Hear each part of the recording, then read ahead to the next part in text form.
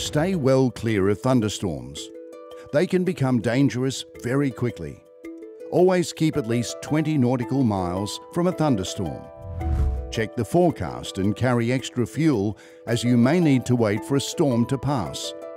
Think ahead about your options, time limits, and decision points. Take extra care when taking off and landing.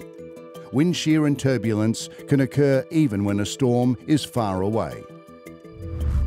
Thunderstorms are powerful cumulonimbus clouds. They are unpredictable, producing heavy rain, hail, and severe turbulence, even in clear air.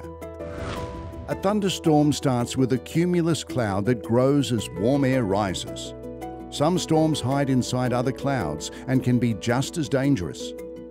In the mature stage, updrafts and downdrafts bring heavy rain, hail, lightning, and turbulence.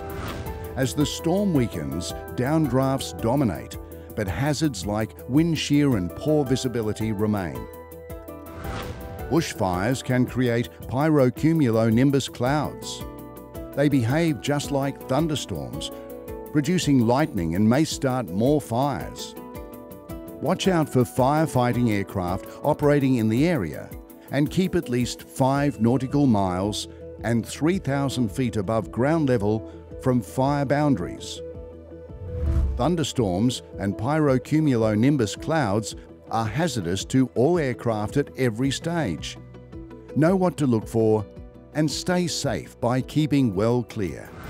Your safety is in your hands. Visit the Pilot Safety Hub on the CASA website.